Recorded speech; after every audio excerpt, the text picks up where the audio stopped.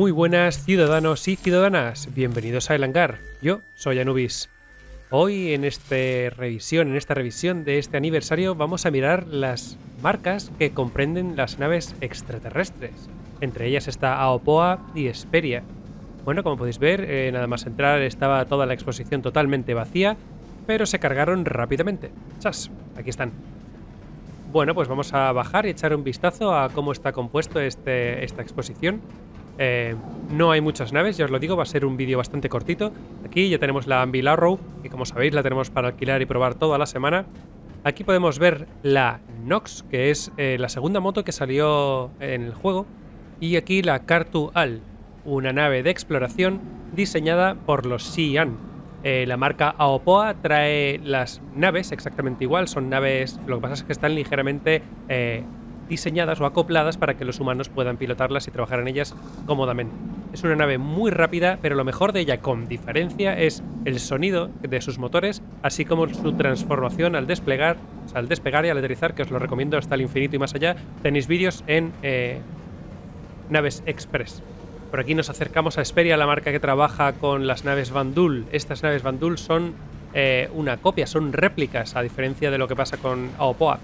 Esta es el Vandul Glaive. Es un caza pesado con estas dos pequeñas armas y después dos pedazos de cañones enormes. Es la artillería pesada dentro de los, de los cazas Vandul. Y estas que estoy pasando más rápido son las Blade. Las Blade, que es el, caza más ligero dentro de, de las naves Vandul tenéis para esas dos naves también en Naves Express una revisión.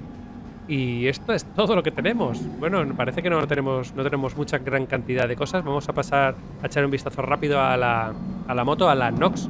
Eh, la verdad es que el diseño está bastante bonito, muy atractiva. La verdad me gusta mucho. Es una nave muy rápida, es maniobrable. Eh, bueno, está a la altura que, que la Dragonfly. Bueno, yo os recomiendo que probéis estas naves, aunque solo sea para ver su despegue, aterrizaje, transformación y sonidos. Y bueno, vamos a pasar a ver lo que cuestan y las que están en producción. Bueno, vamos a pasar a la página web a ver los precios de estas naves. Eh, quitando la moto, eh, estoy bastante seguro de que todas, todas, todas las naves están sobrepreciadas, es decir, valen mucho más de lo que son capaces de dar. ¿Por qué? Bueno, porque en realidad estás comprando exclusividad. Eh, dentro del lore del juego no todo el mundo tiene acceso a este tipo de naves, son naves muy cotizadas y bueno, sencillamente están más caras por eso. Aquí podemos ver las naves que están en producción, como la Banu Defender, que es un caza de la raza Banu, la nueva Santo Okai, el Banu Merchantman, que es una nave de, comercio Banu, y por último una nave de eh, descenso de tropas llamada Prowler. Bueno, y vamos a entrar un poco en lo que es la novedad de este año, que es la Santo Kai de la marca Aopoa. Eh, lo primero, bueno, Aopoa es una marca, eh, como veis, que trae, hace naves alienígenas, son exactamente iguales que las originales, este, en este caso de la, de la raza Xi'an, que son unos hombres tortuga que viven durante muchísimo tiempo, o al menos bastante más que un humano. Eh, la característica de estas naves son esos motores grandes que tienen, son sus motores principales y además son capaces de rotar en general hacia casi cualquier sitio, lo cual hace que sean naves extremadamente maniobrables, bastante más eh, que a lo mejor una nave humana que tiene los motores grandes atrás y ya está, y después unos pequeños motores. está equipada con cuatro armas de tamaño 3, que son también de naturaleza Sian, eh, lo cual las hace, bueno, pues ligeramente superiores a las de tamaño 3 normales.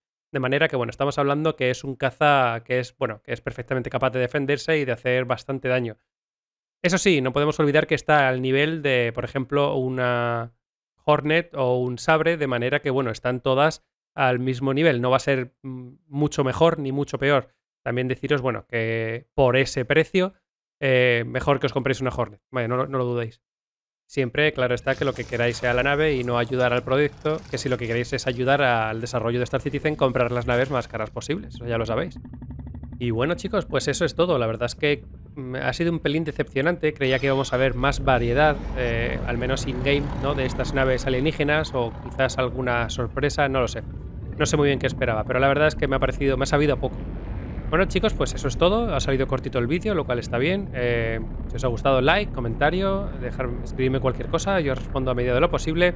Eh, si no estáis suscritos, suscribiros y nos vemos en el próximo episodio. Chao chicos.